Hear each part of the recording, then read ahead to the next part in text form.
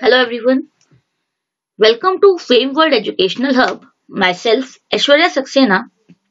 Today, in the series of Object Oriented Analysis and Design, we are studying UML and our today's topic is Hospital Management System. We are going to illustrate an example of Hospital Management System, a class diagram of Hospital Management System.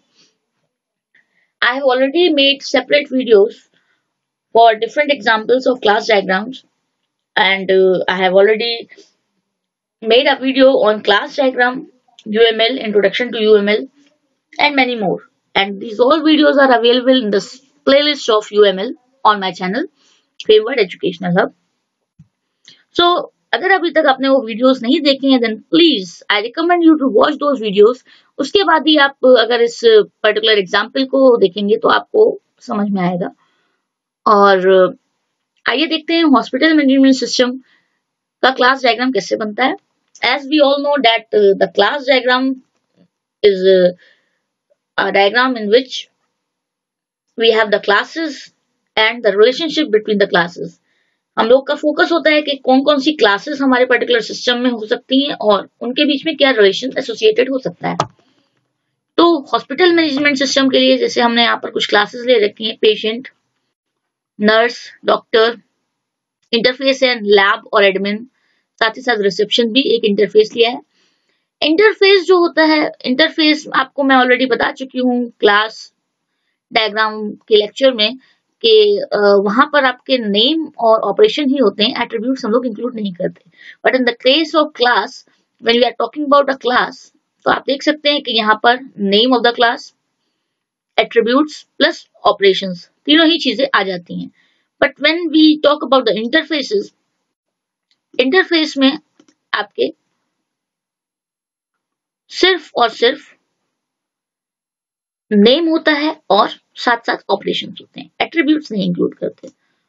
तो यहाँ पर जैसे ये patient एक class है, या एक object हम कह सकते हैं यहाँ पर, फ़िलहाल हम अपना क्लास डायग्राम बना रहे हैं।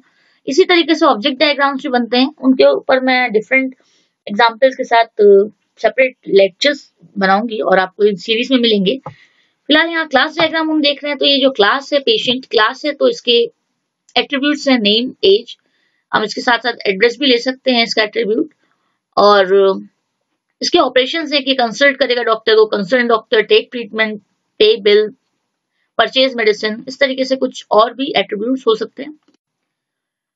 यहाँ पर आप देख रहे हैं रिसेप्शन एक इंटरफेस है, यहाँ पर पेशेंट रजिस्ट्रेशन और डॉक्टर अवेलेबल डिटेल्स ये दो ऑपरेशन यहाँ हैं, और भी ऑपरेशन हो सकते हैं, आप उसमें इंक्लूड कर सकते हैं।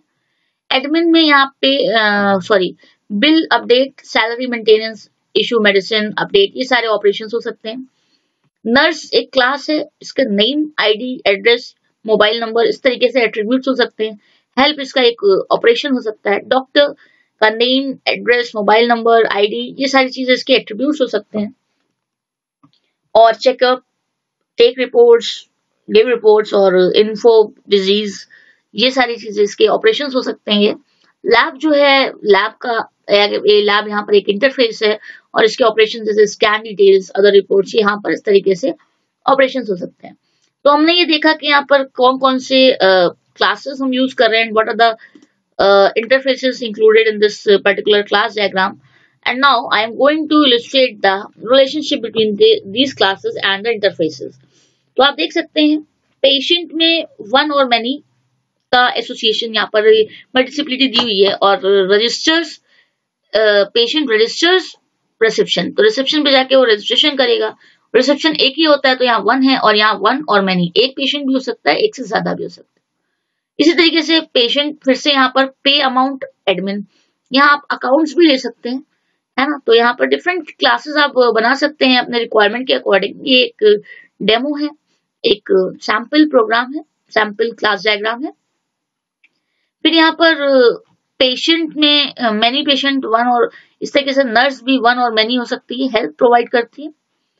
पेशेंट कंसल्ट डॉक्टर एक से ज़्यादा भी हो सकते हैं, एक भी हो सकता है। इसी तरीके से डॉक्टर और लैब के बीच में मेनी डॉक्टर्स एक लैब से क्या कहते हैं कम्युनिकेट कर सकते हैं कलेक्ट कर सकते हैं डिटेल्स को। तो आप देख सकते हैं, ये हमारे क्लास डायग्राम है जो कि हॉस्पिटल मैनेजमेंट सिस्टम के लिए हमने यहाँ पर बनाया है। आई होप आपको ये डायग्राम समझ में आया होगा और आपको इसमें कोई कंफ्यूजन नहीं होगा। अगर आपको इस पर्टिकुलर डायग्राम में या मेरी सीरीज़ की किसी भी वीडियो लेक्चर में कोई प्रॉब्लम है, कोई कंफ्यूजन है देन प्लीज़ आप अपनी क्वेरीज को कमेंट बॉक्स में ड्रॉप करिए, ताकि मैं उस पर वर्कआउट कर सकूँ और आपकी हेल्प कर सकूँ। अगर आपको मेरा ये वीडियो पसंद आया हो देन प्लीज़ आप इसे लाइक करिए और शेयर करिए अपने फ्रेंड्स के साथ।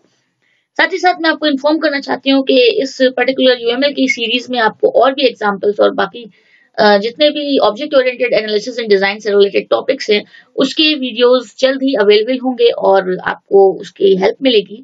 और आई नीड योर सजेशंस कि आप कौन कौन से टॉपिक्स और कौन कौन से सब्जेक्ट्स की डिटेल्स या इन्फो चाहते हैं, मैं उन पे लेक्चर प्रिपेयर करके अपलोड कर सकती हूँ और आपकी हेल्प करना चाहती हूँ।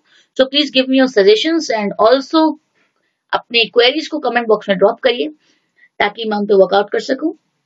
मेरे चैनल पे आपको डिफरेंट सब्जेक्ट्स के डिफरेंट टॉपिक्स के वीडियो लेक्चर्स मिलेंगे जैसे कि Java C C plus plus H T M L web designing में आपका और सी एस एस ये सभी चीज़ें जावा स्क्रिप्ट है और ट्रिपल सी का कोर्स है। There are various courses P H P dot net various courses available on my same word educational hub. So i recommend you to please watch those videos and uh, improve and enhance your knowledge and also subscribe to my channel and press the notification bell ताकि आपको मेरे channel के latest uploads के videos मिलते रहें Thanks for watching. Please like, comment, share and also subscribe.